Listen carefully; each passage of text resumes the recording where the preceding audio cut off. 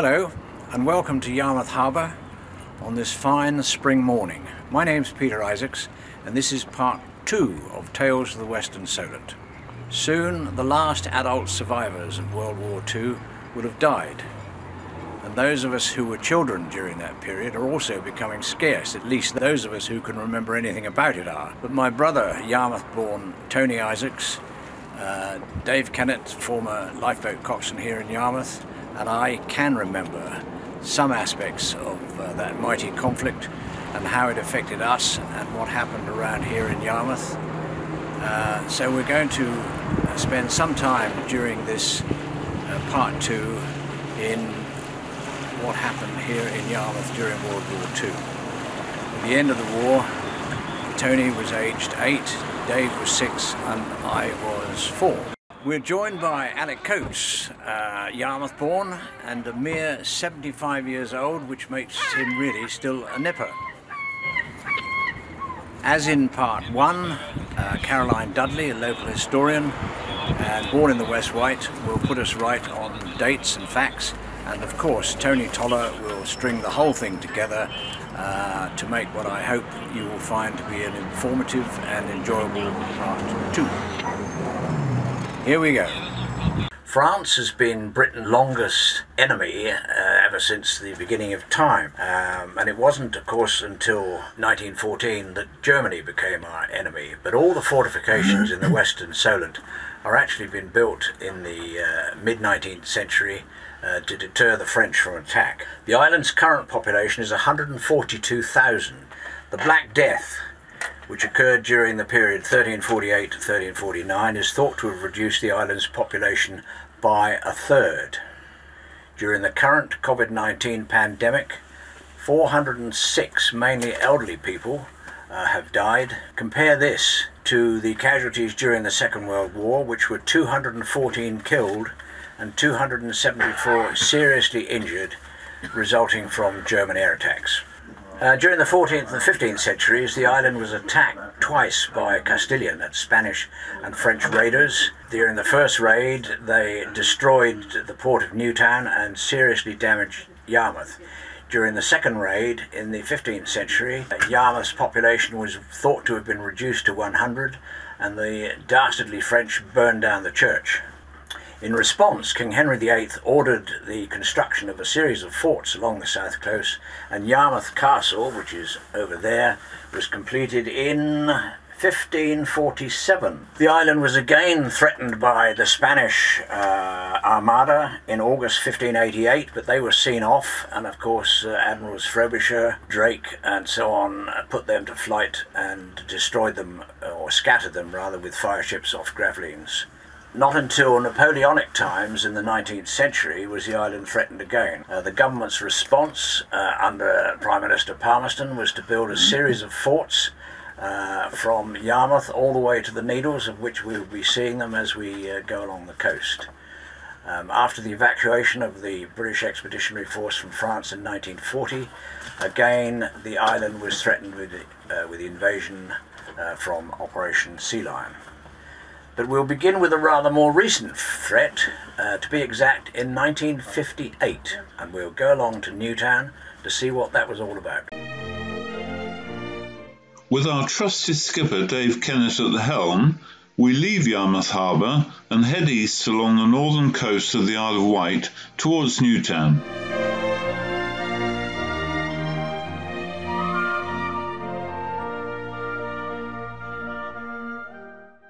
We're now in the entrance to uh, Newtown Creek and over there is the ancient port of Newtown which was established by the Romans uh, but was destroyed by the French in uh, 1377 and in fact it never recovered uh, from that raid.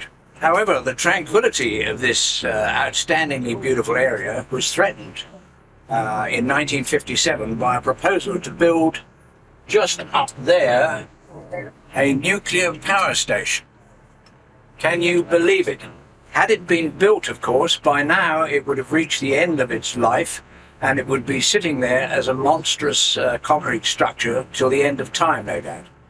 Understandably, there was considerable local opposition to this proposal, Uh, but the land on which much of the station was to be built was owned by the Kindersley family at Hampstead Farm, which is up on the ridge.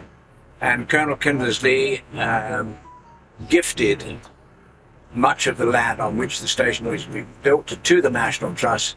And it was that action which effectively scuppered the plan. This whole area around here is now owned by the National Trust and is one of the most uh, beautiful parts of the uh, south coast. Our next stop is just to the east of Yarmouth on the north coast.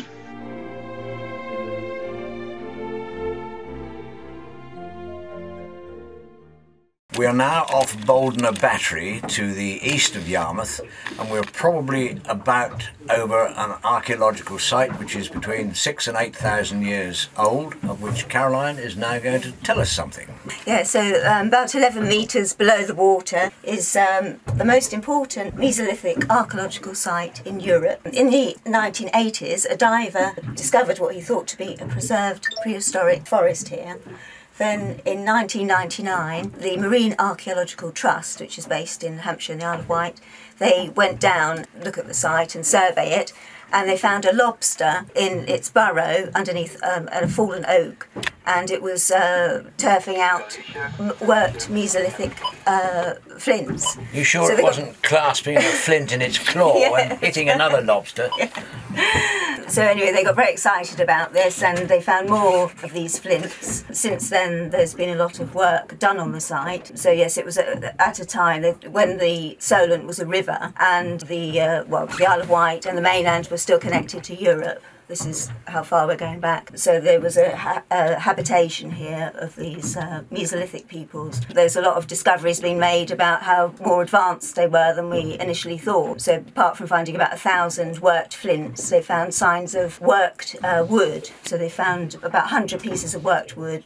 which more than doubles the amount of worked wood in Britain by Mesolithic peoples and some of these pieces of wood look like they would have formed a platform. And there's also a log looks like a log boat or a trough. So if it is a log boat it would be the earliest boat building site in the world known in the world. And also DNA studies have in the plant material so sort of peat underneath as everything's been compressed and it's been preserved really well because it's anaerobic conditions. In the peat um, they've done DNA studies and found signs of the earliest type of wheat. So this is 2,000 years ahead of what they thought people were farming wheat. So these peoples were much more advanced than previously thought. So it's a very important site. But unfortunately, it's getting eroded all the time and different parts of it being exposed. So they need to study it as soon as it gets uncovered. Otherwise, everything's going to disintegrate. So the Marine Archaeological Trust so Marine Archaeology Trust, they're trying to get funding to do more work all the time before this important site is lost. Well, it's been lost for uh, about 6,000 well, years. Yeah, We've only rediscovered recently, so yeah. what the hell? You, uh, you, talked about this having been a river. Yeah. How, how long are we going back? Well, 8,000 years. Oh, yes, okay. well, the, the, the sea broke through between the, the Needles and Swanage only 4,000 years ago. Wow. So it was a river until then. Within a few minutes and on our way back to Yarmouth, on our left is the Eastmore Estate. Eastmoor House was originally built by the Johnnie Walker whisky family. In 1935 it was acquired, along with the adjoining property Eastmora, by Almina, the widow of George Herbert, 5th Earl of Carnarvon and chatelaine of Highclere Castle in Hampshire, of Downton Abbey fame. She had remarried only eight months after the Earl's death in 1923. She was believed to be the illegitimate daughter of banker Alfred de Rothschild and had been left today's equivalent of £59 million. The fifth Earl, interestingly, used her money to finance the excavation of Tutankhamun's tomb. He died in Egypt in 1925 from a mosquito bite thought to be the curse of Tutankhamun. During the Second World War, Almina ran the house as a convalescent home for servicemen. It was sold in 1946. Sadly, Almina was declared bankrupt in 1951 and she died in poverty in 1969. In 1947, approval was given uh, by the Isle of Wight County Council to establish a, uh, an approved school at Eastmore House to be run by the Roman Catholic Order of uh, Brothers, uh, De La Salle Brothers, and it was for Catholic boys between the ages of 15 and 18 and could accommodate up to 80 pupils. It ran uh, very successfully until in 1968 there was a complaint by a member of staff against the then headmaster, Brother Cassian, who had been there for 21 years and the latter six years as the headmaster.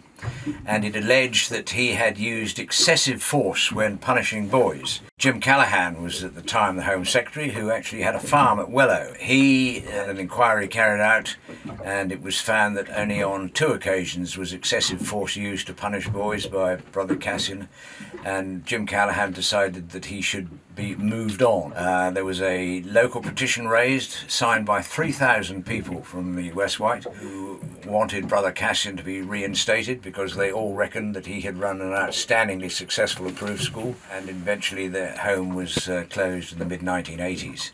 The site is now a um, well known Port LaSalle and has got some uh, really expensive houses on it.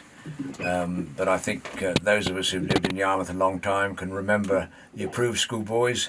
A few of them were taught boat, well, they were all taught boat building. Some of them built some boats and then got into the boats and paddled across to the mainland, but they were soon captured. Brother Cassian would always uh, sort out uh, disputes between the boys by putting them in a boxing ring, and uh, St Swithin's had a had a very successful amateur boxing team. Peter, younger people probably don't know the word approved school. Can you just enlighten us? Uh, these days, it would be uh, known as uh, an establishment for young offenders. We'll now talk about uh, Yarmouth during World War II. When war was declared on the uh, 3rd of September 1939, the Isle of Wight became a closed area, and that lasted until 1945, and it meant that no people were allowed to travel from the mainland to the Isle of Wight or from the Isle of Wight to the mainland, apart from those on official government duty and, of course, including troops. Carrying cameras, telescopes, or binoculars was prohibited, and that's why there are so very few photographs uh, of this area taken during the war. Uh, food, clothing, and petrol were, of course, rationed. A blackout was imposed uh, on pain of fines, and the island went on to a wartime economy. Those men who didn't join the armed forces were employed generally speaking, in building works, and that is coastal defences and the like, and the shipbuilding at J.S. White's at Cowes or aircraft at uh, Saunders-Roe. All leisure craft were ordered to be immobilised or laid up ashore. In 1942, and I quote from a, a newspaper article, four well known Yarmouth yachtsmen, including the Vice Commodore of the Solent Yacht Club, were each fined 10 shillings for failing to immobilise their yachts. All the various um, forts and batteries along the coast were swiftly mobilised, mainly by the Territorial Army, but after the Dunkirk evacuation and the south coast becoming liable to invasion by German troops, then regular army units arrived in the Isle of Wight. On Yarmouth Dump, there was an anti aircraft battery of 40mm Bofors guns established, and Tony, you can remember seeing these guns. I can just about remember it, but uh, I can remember getting tin fruit from the crews. What are your memories? It was great fun, really. Uh, the, the, the, troops that were stationed in Yarmouth really looked after the kids of Yarmouth. If you felt a little bit peckish, you might go into the um, kitchen and pick up a few crumbs off the table and they'd say, would you like something to eat? And they say, oh, yes, please, yes, please. And they go and open up a flipping great tin of pears or peaches. And this stuff was not available to the general, your mums and dads in the shop. They, they weren't there. But the troops were loaded up with it. And of course, they were very, very generous and keep us kids going. They gave us parties at Christmas time fantastic. They played with us. They let us play with um, model aeroplanes that were made as identification purposes for the the gunners. Um, that was great. Uh, I have only really happy memories of wartime Yarmouth. Well, Yarmouth was never bombed, and I won't say that that was because of the deterrent provided by the four 40mm ack guns. It was just that Yarmouth wasn't a significant target, although it did have a lot of troops here and the harbour soon filled up with a variety of military craft. Uh, before our uh, dad went away to join Trinity House, he and his chum Bob Cotton dug an air raid shelter in the back garden. The only trouble was that the first spring tide, when the water used to come up to the bottom of the garden, and of course the water table rose as well, our uh, air raid shelter, which was about 10 feet from the bottom of the garden, filled with water. So that was the end of our air raid precautions until we were issued with a Morrison shelter, which we had in the front room, and Tony and I slept in that for the rest of the war. You slept in an air raid shelter? In the house, yes. Oh, in the house, Yes. sorry. Right. The front room. Yes. Yarmouth had a 45 man Home Guard platoon when that was established, I think in 1940. Yarmouth Town Hall became the ARP, that's Air Raid Precautions Headquarters, Signal Centre, and the George Hotel, which was then known as the Pier Hotel, was the headquarters of the West Solent Patrol. Now, the West Solent Patrol was commanded by a well known local resident, uh, Lieutenant Commander Hans Hamilton, and it comprised three former private yachts the La Roque, the Llanthony, and the Leprechaun. These three yachts were moored off Yarmouth Pier and they formed what was known as the Examination Service. Now, the purpose of the Examination Service was to board all civilian merchant ships coming into the Solent and fishing boats and to carry out inspections to determine whether either were or were likely to be of assistance to the enemy. So that patrol, say, was uh, established soon after the beginning of the war. And one of the yachts, the La Roque, was owned by a 21 year old Bristolian named George Butler, who had bought her. She was 76 foot, Camper Nicholson built. He bought her a couple of months before the war, and on the declaration of war, he volunteered himself, his crew of three, and La Roque for service with the Royal Naval Volunteer Reserve, and arrived here shortly after the outbreak of war. They all lived in the George Hotel, and as happens now, from time to time, the cellars of the George Hotel flood, and the uh, labels come off the wine bottles. So when they had wine with their dinner, Mrs. Greenland, the proprietor, would always insist that they had the bottles which had no labels on, regardless of what price they paid for it. So where were the guns? The guns were where the trees are now. And there were a number of um, Nissen huts for the cookhouse and the accommodation of the gun crews. Uh, it was a uh, half a battery, so I would anticipate there were about a total of 35 to 40 soldiers here uh, from about 1940 to 1945, most of whom came from West Yorkshire. Operation Dynamo was the spectacular evacuation of the British Expeditionary Force from Dunkirk and La Roque, and then followed by Llanthony across to Ramsgate and then across to, to Dunkirk. And La Roque arrived on the afternoon of the 26th of May. Shortly thereafter, she was joined by Llanthony. And during the next uh, five days, they ferried troops from the beaches to the largest ships waiting offshore and indeed made a couple of trips back to Ramsgate. And between the two of them, they carried off 465 troops. Uh, they both went aground at one stage during the evacuation. Anthony was damaged by shell splinters, but uh, La Roque was undamaged. By the time they came back to Yarmouth, Royal Canadian Navy officer uh, in command of uh, Anthony was awarded a Distinguished Service Cross and George Butler was mentioned in dispatches. George went on to command ocean going tugs, escorting convoys from Liverpool to Freetown, and finished the war as a first lieutenant of a destroyer in the West Indies. At the end of the war, La Roque was re engined and handed back to her owner, and George was my father in law. The town of Cowes is not in the western Solent, but it would be amiss of us to exclude a spectacular event that took place there involving the Błyskawica, which was built at J. Samuel White's shipyard for the Polish Navy. On the night of 4th of May 1942, Błyskawica was instrumental in defending Cowes from an air raid by 160 German bombers. The ship was undergoing an emergency refit and, on the night of the raid, fired repeated rounds at the German bombers from outside the harbour. Her guns became so hot they had to be doused with water from the River Medina. Extra ammunition had to be ferried over from Portsmouth. This forced the bombers to stay high, making it difficult for them to target properly. The ship also laid down a smoke screen, hiding Cowes from sight. The town and the shipyard were badly damaged, but it is generally considered that without this defensive action, it would have been far worse. On the 19th of May 1942, the 1st Battalion, the Royal Regiment of Canada, arrived here at Norton Holiday Camp, soon followed on by the Essex Scottish and the South Saskatchewan. They were here for six weeks of intensive training in preparation for Operation Rutter, which was the invasion of Dieppe, which actually didn't occur as Operation Rutter, but I'll get to that in a moment.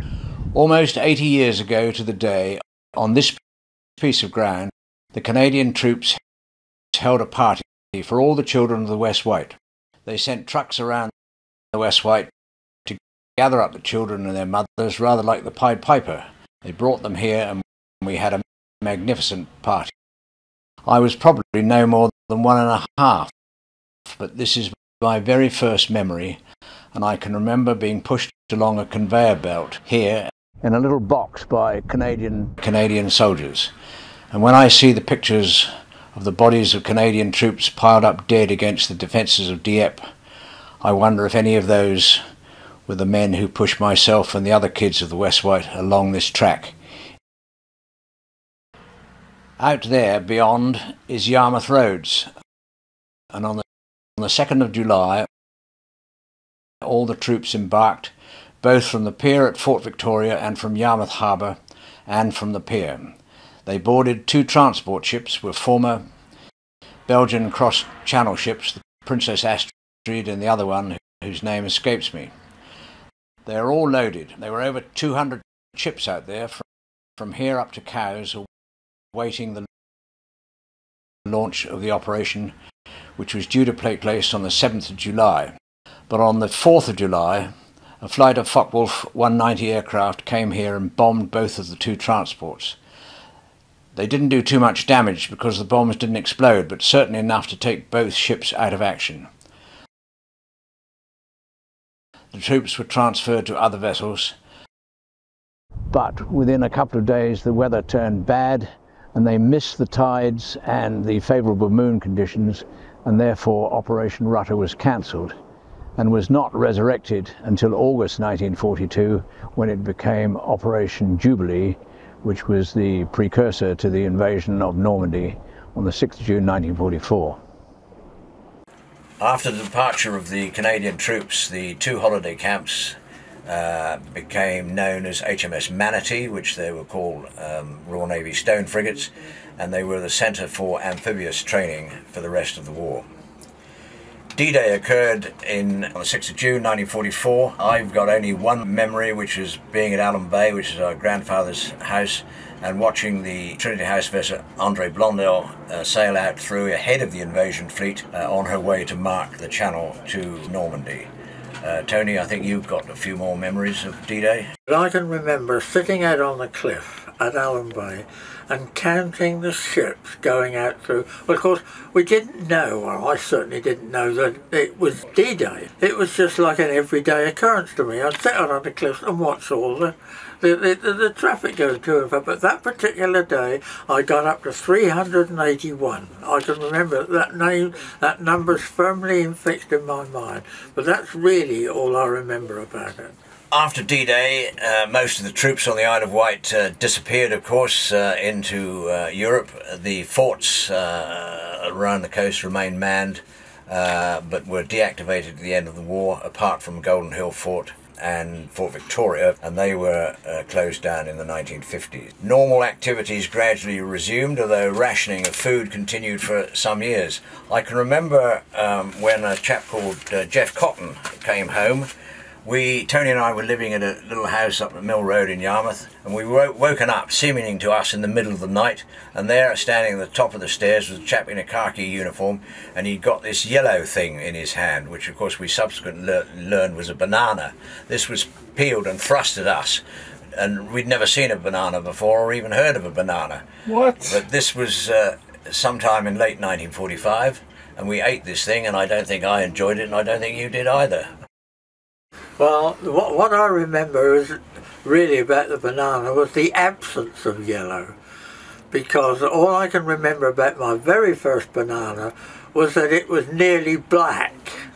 And I was a little older than Peter, so I was a bit more aware of apples and pears and all the rest. But I knew bananas should be yellow. But this was unfortunately nearly black, and I'm very disappointed. But it tasted all right. well, I've only got one more thing to say. In 1961, Carnival Week, I was home on leave with a, a chum of mine named John Saar, and in those days, Yarmouth was sometimes visited by one of the largest private yachts in the world, and this was the Shemara, owned by Sir Bernard and Lady Docker. And she was moored uh, about 100 yards off the pier. John and I had had a few drinks in Yarmouth, and we decided it would make a lot of fun if we were to go out and throw some thunder flashes onto the deck of the Shemara. So we uh, borrowed a dinghy, it was by this time dark, um, rowed out to the Shemara. Uh, the tide was certainly uh, against us, so it was a, a hard pull. She was all lit up, and we pulled the fuses on the two thunder flashes and threw them on the deck. And I think, if I remember rightly, it's a four second delay before a thunder flash goes off, and they make a hell of a bang. And we rode like hell back to Yarmouth, and were either disappointed or greatly relieved there was absolutely no reaction for anyone on the Shemara at all, and I can only assume that there was none, no one uh, aboard.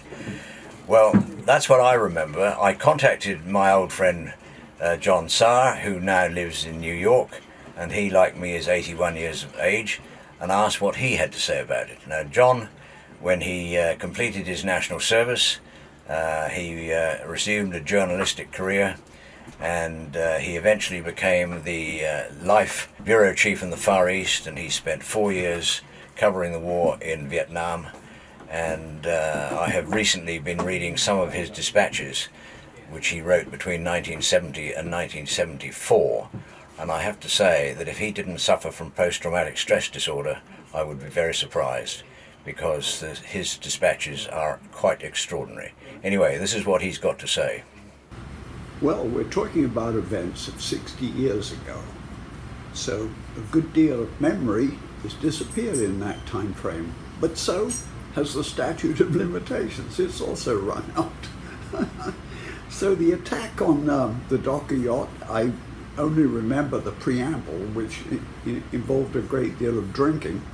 Um, and, um, and I mostly remember that in the, leaving the scene of the crime, crime.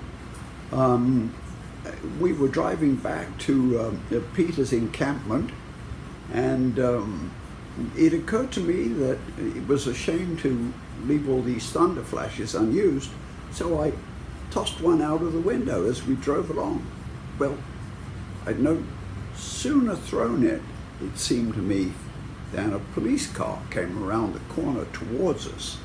And um, the timing was, well, perfect. It blew up, and we heard it very clearly. Peter stepped on the gas, and we got the heck out of there. so that was it. It was it was uh, it was a great time in those days, and Peter was a great companion. He's been a lifelong friend, for which I'm most grateful. Well, thank you and good night.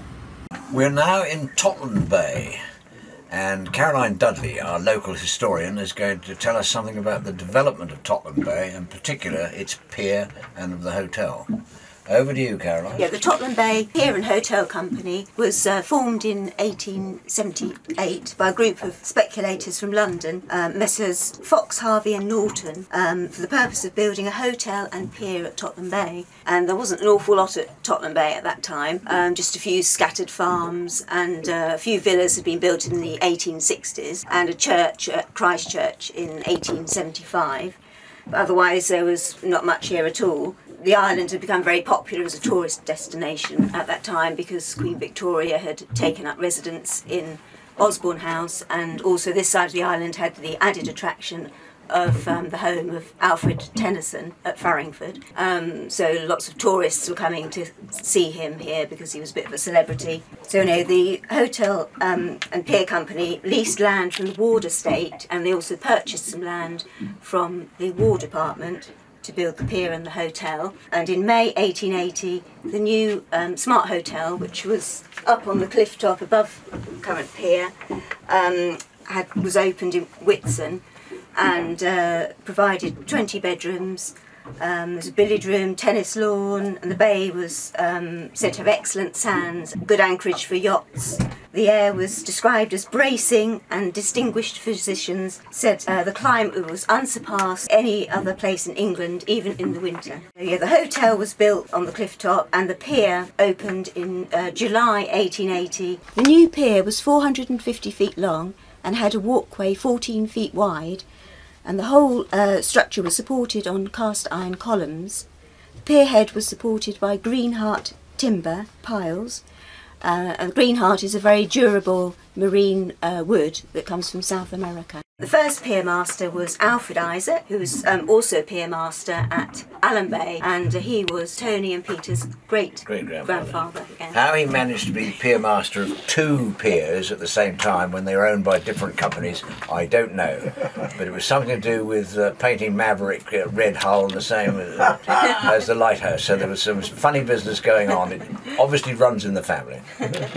so yes, then um, steamers began to call regularly at the pier, and trips to Totland Bay proved very popular with excursions. In September 1885, four steamers were at the pier all at once, all laden with passengers, while in July 1886, a total of 13 steamers called at the pier in one day after additional services of boats commenced between Lymington and Totland Bay uh, in connection with the London train. Hard to imagine now the steamers at the pier. So this, yeah, this was the London and South Western Railway Company and provided a connecting service between Waterloo and Totland four times a day and between Totland and Waterloo three times a day. The, the entire journey taking as little as three hours and 35 minutes. That's faster than today. the hotel proved very popular with wealthy tourists and it was more than doubled in size in 1891 and this is when the distinctive turret was added. During World War I, the Needles Channel was closed, but steamer services continued to run to Totland Pier during much of the war. A full ferry service resumed in 1919, but it was reduced in 1925 and ceased altogether at the end of the 1927 season, when it was likely to have been quicker for passengers to disembark at Yarmouth and take the omnibus to Totland. However, excursion steamers continued to call at Totland until the end of the 1931 season, when the pier was considered unsafe. And during the Second World War, of course, um, uh, a section was uh, destroyed in the middle to, well, it was, yes, it was, to uh, prevent possible landings by yeah. Germans. But after the war, it was all uh, repaired. And of course, uh, Dave, I think your first job was on Totland Pier. I remember tying up all the paddle steamers and uh, in fact, there was the, the embassy that uh, came in quite often. Uh, there was the monarch, Empress of India, and the consul. consul. And the old consul, I remember, she was uh, steam driven, and you could see her chimney, uh, the, the, smoke coming out of the funnel all the way along the north shore over there before she could turn around the shingle bank. Mm-hmm. And it was quite interesting to see, but um, she used to plod along at about five or six knots and invariably used to turn up at the pier so late that everyone was getting a little bit fed up. But, um, yeah, but going back to Pilot's Point, when I was working for Vic Stallard, in the winter we converted that from a restaurant to living accommodation, and um, that was also an annex to the hotel. At the same time, but somebody else, a fellow called Jack Staniforth, he converted the waterfront from uh, a restaurant to bedrooms again for the annex to the hotel. So there are all three buildings there we had something to do with. Let me take you back to the time when I was about 13 years of age and you were working on the pier tying up these paddle steamers. I had a friend uh, staying with me and you had said to me, if you want to go up to Cowes any time on a paddle steamer, come on down to the pier and I'll let you on, you see, without a ticket obviously. So Lawrence and I decided we would take Dave up on this. We got to the pier, and I can see you now. You had a white polo neck sweater on. He said, Come on, come on. And we scrambled up the gangplank, and off we set to Cowes. What you didn't tell us, of course, was that we had to get off at Cowes without a ticket. So we got to Cowes about an hour later, whatever it is, and to our consternation saw all the passengers getting off. So we waited amongst the lifeboats until everyone had gone and there was no longer a member of the crew on the on the um, gangplank, and then uh, sneaked ashore. But of course, we had to come back again uh, before the crew appeared at the head of the gangplank to recheck the tickets, which we managed to do by hiding somewhere. Got back to Totland. And coming in, and Dave was there on the pier, and as we started to come down the gangplank with all the other passengers, he shouts out, Tickets, please, tickets, please, knowing full well that we hadn't got any. Remember that quite well, Peter. yeah. yeah. But the, the, the, the pier's been used for the pilot boats. Um, when we used to have lots of ships staying through here, every Friday you would have the, uh, uh, about nine ships, all the P&O and uh, castle boats all coming down through at the same time, and they all needed a pilot. Well, they had pilots down and they had to be taken off at the Needles. So uh, we had a big, uh, we had various ships, uh, pilot boats anchored off of uh, Totland, they used to carry a little uh, launch that used to go transfer the pilots between that and the ship. There was the Gurnard, the Brook, the Pender. Um, the Pender was a converted yacht, was uh, um, changed into a pilot boat. But they used to anchor off here and come out, bring all the pilots ashore. And the pilots used to have, a, they scaled down, shipping up through here. They, they moved up to Yarmouth, a berth in the harbour with fast launches, uh, 40 foot launches, and they used to charge down and they knew when the ship was due off the needles and they used to just be off the needles at the time or vice versa. But uh, it was interesting um, for the just the Trinity House, just watching what's happened over the years. Very, very few commercial shipping goes down this part of the. Uh, the Solent now, it all goes out through the, the, the NAB. Yeah. Uh, in addition to being the uh, non-resident keeper at the lighthouse, Tony was also the non-resident keeper for about a year at the NAB Tower. So he had two jobs until he was retired when he reached the age of 70. Interestingly enough, having been associated with Trinity House all those years, he'd worked for them for 40 years. He re-tendered for the contract, and I said to him at the time, you're 70 years of age, the chances of you getting it are not good. And sure enough, he did not get the, the contract. Uh, he received a notification from Trinity House at Harwich. Thank you very much. Your contract has not been uh, successful, and that was the end of it.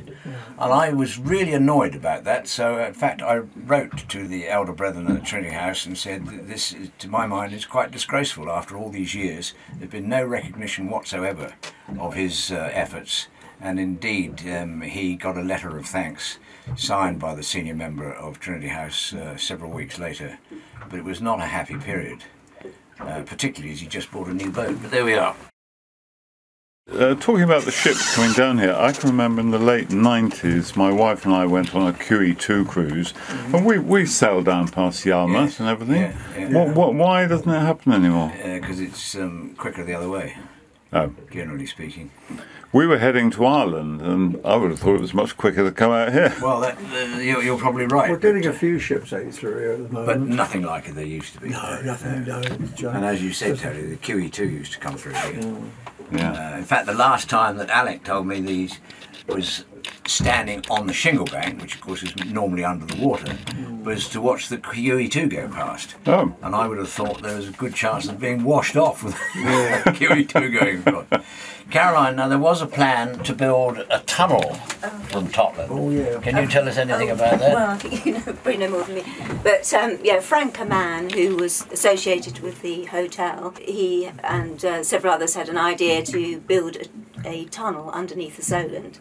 And Frank, sorry, Ammon, he ran the Totland Bay Hotel from the, about well 1906 to uh, into the 30s when he passed away and uh, it was always his idea. You know, he kept this idea alive. Initially, it was with Blundell Maple, who of furniture fame. So Blundell Maple actually uh, fitted out the hotel with all the lovely furniture. Uh, so it was with him and the eighth Earl of Egremont. They had this idea to build a, a channel under the uh, sorry tunnel underneath the Solent. But then Sir Blundell Maple died in 1903, and I think he probably was the biggest uh, financial backer. They had actually had permission, I think, and uh, they'd started making uh, drill, were drilling on the other side, had they, Peter? That's right, Yes, yeah. so they had. they- you- I think you can still see them today, can't you? The- Well, we could do with Yes. it now.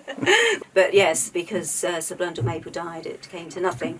But it was going to come out at Fort Victoria. Fort? Victoria. Yeah. Yeah, it was to be a railway tunnel, Yeah. uh, but it um, didn't happen. And of course, uh, people think that uh, a tunnel or a bridge is a new idea, and it's not a new idea at all. In fact, I think from the test uh, workings over on the other side, they got several hundred yards out under the sea.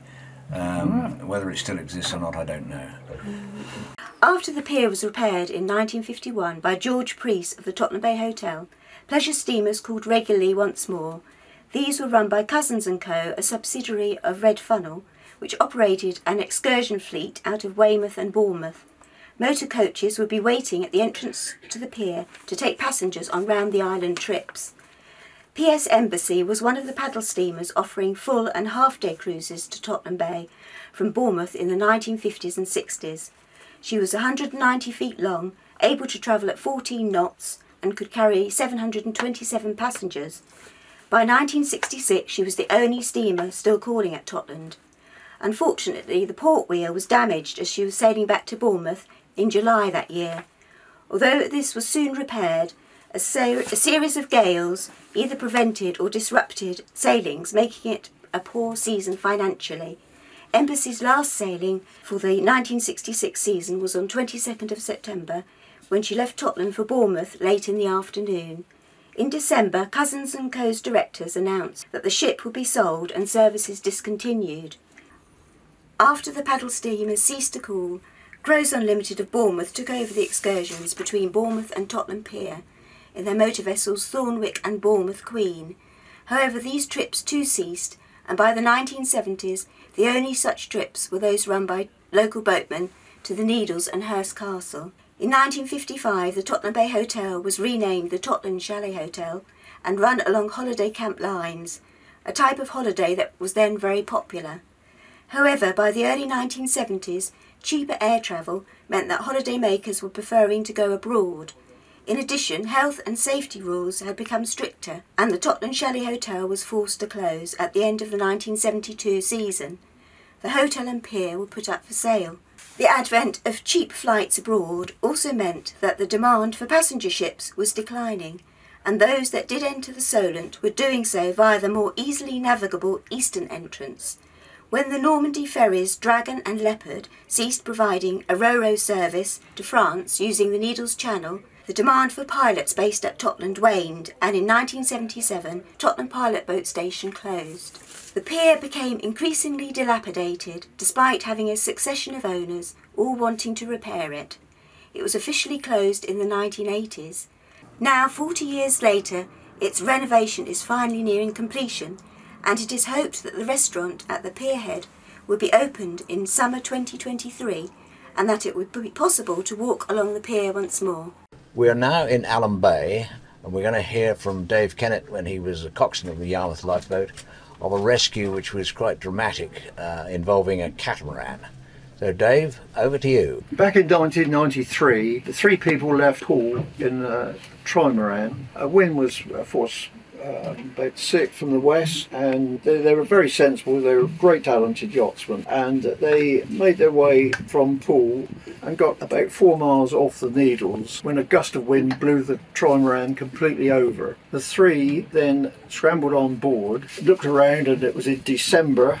It was December the 13th, and not much. There's not many yachts around. It was very quiet um, as far as uh, surface craft were about, and one of the crew a lady called Heidi Bell volunteered to dive under the craft to recover some flares. Get dived under, and got the flares, and then quite cold, so she was went under again. Uh, she went under several times and brought various pieces of clothing out to protect them on the hull. Just one solitary tug happened to see the flares. They alerted the Coast Guard. We got the call late afternoon and proceeded like the helicopter. The helicopter was uh, proceeding as well, the Royal Navy helicopter. We got there and uh, I could hear in the background on the radio that they were talking, the second helicopter were talking about bringing out a chainsaw and uh, an axe. and I wasn't happy about that. First of all, with the chainsaw going around on top of Heidi's head, for one thing, but as soon as it released the pressure, then the boat would have settled further down in the water, and she would have had very little air left of. Uh, so that worried me a lot. I took over as on-scene commander of the whole thing, took responsibility, uh, I got a t- we got a tow line underneath, and then we started to tow. And I knew that we had very little time to get back up through on that flood tide because we were t- um, the mast and the sail was um, down and it was dragging. And talking to Miles, in um, I was in completely communication with Miles on board the boat with one of our radios, uh, talking to her and, and talking to me. I was saying, "Can I go a bit faster?" And he said, "Try it, slow down or whatever," because because in this case, you know, it was quite choppy, and uh, the I was worried about her being washed off of her perch inside. I was very concerned that um, Heidi would have been washed out through the back of the boat with if I'd gone too fast. Went very slowly. Um, I had Tony on board here. He was uh, on the cliff at that, no- at that night. I don't know what he was doing that time of the night on the cliff, but he remembers that it was too bad in Alum Bay where we are at the moment to. So I had to unfortunately just keep on going up to Totland Bay where I knew I had a bit of lee from the land. And we went round and anchored in 40 feet of water which was the depth of the mast roughly and we anchored in there. She'd been trapped underneath, I think, for about six hours, and you can imagine, a poor girl. And she was so calm, so calm. I can remember that there was no, um, she wasn't panicking at all. Miles was marvellous with her, talking to her, reassuring her. Eventually, a bomb disposal unit came out in another helicopter, and they dived down inside in quiet waters in Totland Bay, and eventually got her out. And the last I saw of her was she was on the end of a high wire um, heading for a hospital. For her parents, uh, her mum, and um, we get postcards and uh, Christmas cards from both of them, remembering us of the day, and uh, nice words from them. Uh, Lovely. And every year we get cards. Well, Dave Kennett, yours has been a life devoted to saving lives. 26 years of battling seas like these at all hours of the day and night. It was just after midday on December the 11th, 1993, when a trimaran capsized in strong winds and heavy seas off the Needles. And it's thanks to you I'm here today. It's Heidi Bell with her friends Nick Slocum and Stephanie Merry.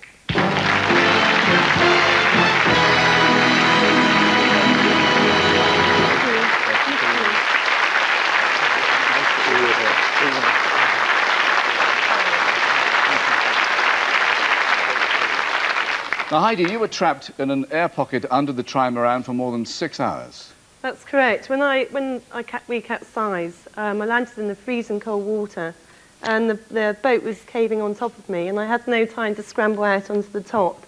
Um, within seconds, I lost communication with uh, Nick and Steph, which was really scary. I, that was the most lonely time of my life when um, I lost touch with them, and I was underneath in this um, small air bubble thinking, "My goodness, I'm on my own, but I'm still alive. What is going to happen?"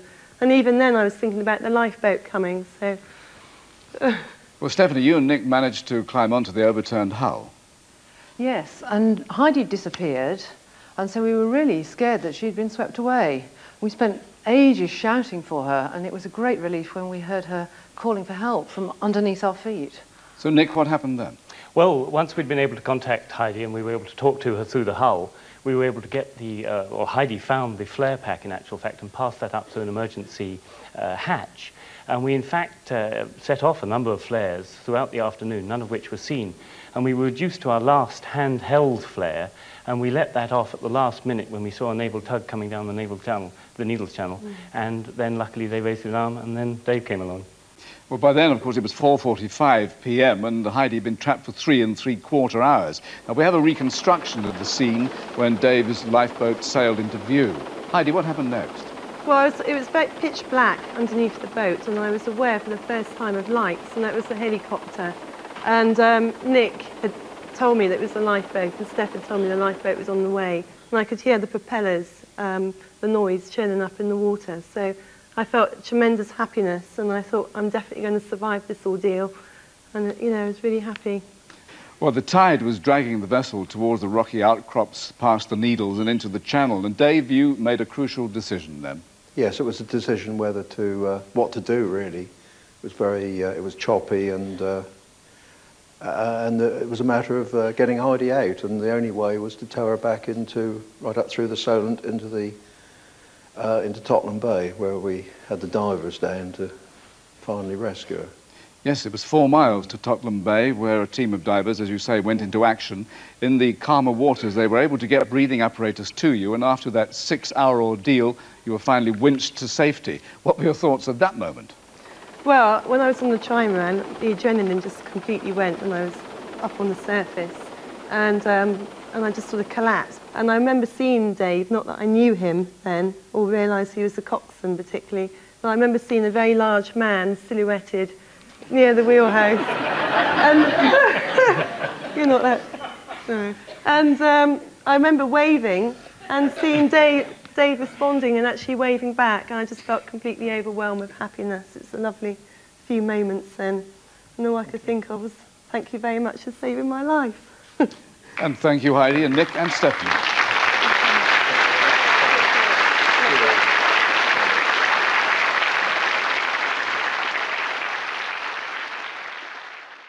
Well, Dave has now brought us uh, along the main bench, so we're pretty much under Tennyson's monument. And I think it was in 1971, Alex. Yeah. You were fishing along here in the dark Yeah. and managed to run into the cliff. How did that happen? We did. We had a machine called a Decca Navigator. You're probably very old. And um, it relied on coloured lines on a chart. And uh, it was a radio operated thing. And it jumped a lane. And instead of being 45, we went to 44 or whatever. And uh, it was foggy. We ran in to get back to where we thought we wanted to be. And uh, all of a sudden we saw the cliff coming. the wheel was put hard over and we struck just as we were running almost parallel to the cliff. And that's where the boat eventually swung and uh, luckily it's quite deep water right up to the wall, right up to the cliff. So we were able to step off and uh, onto the rocks and climb the cliff, which is what we did. But we got to the top, John and I, and he got over and the top bit of turf off the top of the cliff fell off and took me with it and I slid most of the way back down again.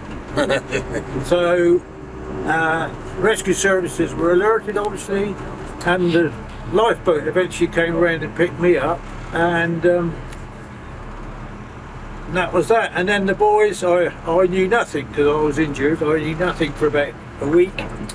And um, the gang of the boys came around and salvaged the boat and took it back to Yarmouth. So we eventually took it to Cowes and mended it.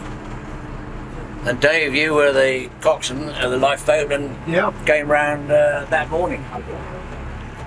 Yeah, we were alerted. John had uh, gone to one of the houses in Freshwater Bay and uh, alert and knocked somebody up about what, the earlier hours of the morning. Yeah, about one o'clock. About one o'clock in the morning, John knocked on the door and said, uh, "My mate's um, injured on his boat, then underneath Tennyson's monument, and uh, could you tell the Coast Guards?" And um, we um, knew that where the boat was in theory, and we brought the boarding boat out, the uh, the lifeboat boarding boat, and um, and we a couple of the lads went ashore and uh, and took Alex off the boat, and um, then uh, we came round.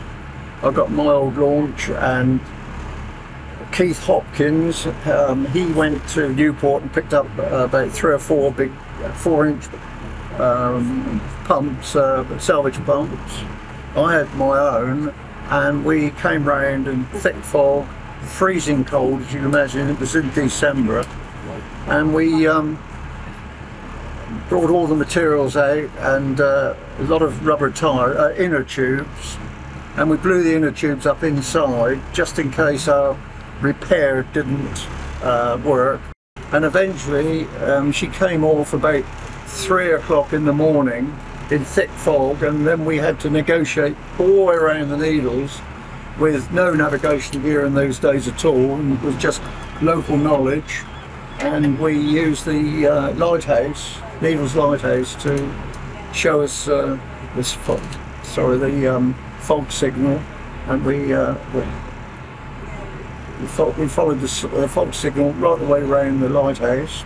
Long So- time ago. Mm, long time ago. But anyway, we. Um, but I've always wanted to tell this story because John Doe, to me, what a hero John Doe was to climb that cliff, thick fog, in the dark, and make his way to alert the, uh, the uh, services.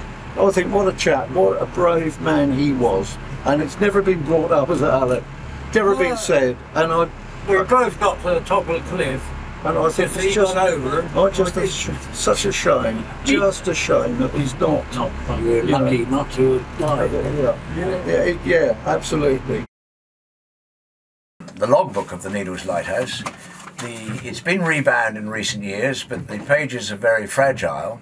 In fact, the first entry is the last entry uh, in 1859 of the old lighthouse up on the top, and then the next entry is of the new lighthouse. This is how Trinity House used to uh, look after. The lighthouse has been subject to regular visits and inspections, usually by the master of the Cowes Base Trinity House tender, ever since it was opened in 1859. After each inspection, an entry was made by the inspecting officer in this logbook. Now, we started off at Yarmouth talking about uh, the Second World War. Throughout the period of the First World War, between 1914 and 1918, there is absolutely no indication in the uh, the Needles logbook that a state of war existed, or there was any change to the routine, or anything else.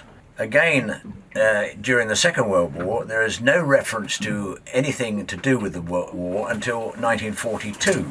Between the 17th of August 1939 and the 4th September 41, the lighthouse was visited by a Trinity House tender and inspected by its master on seven separate occasions. Most entries in the log state Inspected from motor vessel Andre Blondel, stationed very clean and efficient. Signed, George O. Sherman, Master. Now, the quartermaster or the helmsman of the Andre Blondel was actually Tony. Yes, um, my, my Peter, my father, his name was Jim. He was uh, a crewman on um, the Andre Blondel, which was seconded from the French at the start of the war. Uh, which I've been on a number of times, and it, it was great fun. It really was.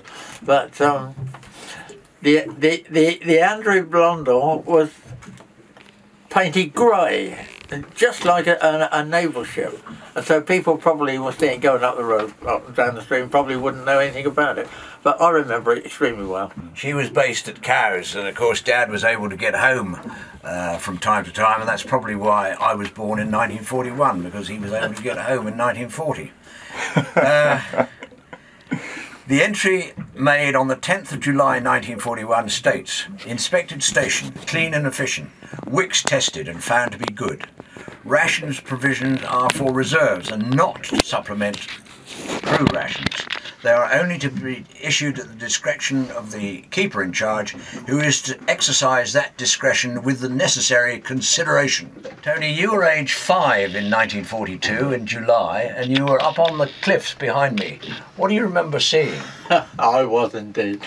It, it's hard, isn't it? Because in those days, little we were allowed to climb the cliffs, go along the beach, five, six, seven years old. Well, I was on the cliff this particular day, and this, and I don't know that I would know that it was German.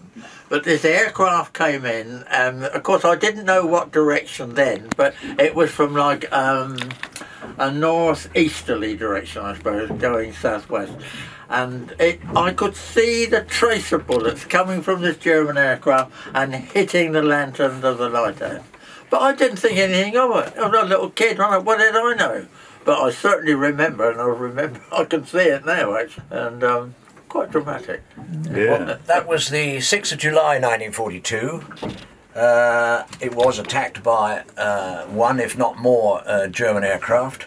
The following day, Mr. G.C. Barker, Superintendent of Trinity House Depot at Cowes, inspected the, the, the lighthouse and made the following uh, entry in the logbook.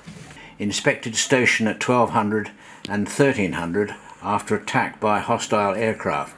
Considerable damage to the lantern from cannon fire and light out of action.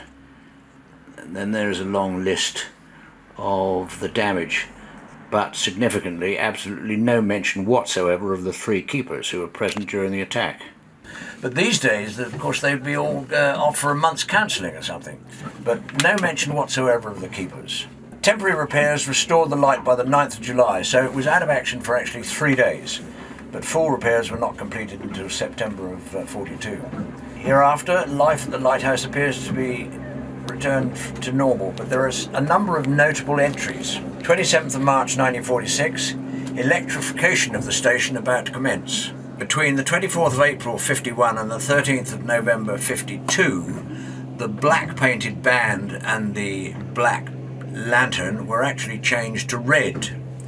It took seven weeks to complete, and as I say, um, some of the paint uh, in the succeeding years seems to have gone astray, but uh, nothing uh, of any great note. 2nd of January 1958, television installed. 13th of April 1987, station undergoing modern, modernisation, helipad. Despite the upheaval, noise and dust, all found to be in good order. 11th September 1989, current automation program deferred whilst awaiting a possible solar fit. The station will remain manned for the time being. Redesigned ladder access to and from the helideck still awaited before operational clearance can be given. Now, it took two years from the start of the uh, construction of the helideck until it was declared safe for uh, operations, and it was largely because of the faulty design of the ladder uh, from the lantern up to the top of the deck. Tony, you've got a, a tale to tell about the underwater cable which is there because they, the, the solar uh, power idea was obviously abandoned and uh, they installed mains electricity from up on the, the old battery which came down the lift shaft out into the sea and along the cliff. But you had something to do with that. Well, in my latter years, I took up scuba diving, and I was diving in Alum Bay um, along the cable, following the cable along the seabed, no, no, not, not, not officially, just, just for something to do. And I followed up over a ledge, and as it went up over the ledge, it had worn through, and it worn through the outer um, rubber casing, it had worn through the wire, armour plated, and it was it was in a hell of a state. So of course I reported it to the powers that be, and um, they got it changed. But my goodness, I did very well out of that job. I can imagine. I was commissioned by the company from Cornwall that were laid the new cable to recover the old one and to keep the proceeds from whatever I got from the sale of the old one. I did very well out of that. We've now come to the end of uh, recording part two of this series. Whether we can do a part three, which I hope would be on lobster fishing, uh, remains to be seen. But there is still a hope, even though Tony is moving away from the Isle of Wight. Uh, I was asked the other day what motivated me to get the three of us together to make these recordings. Uh, and I said, the passage of time, really.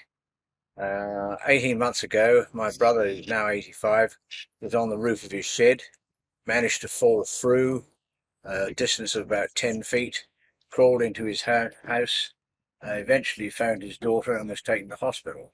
They kicked him out after uh, three days with a bottle of pills and said, get on with it.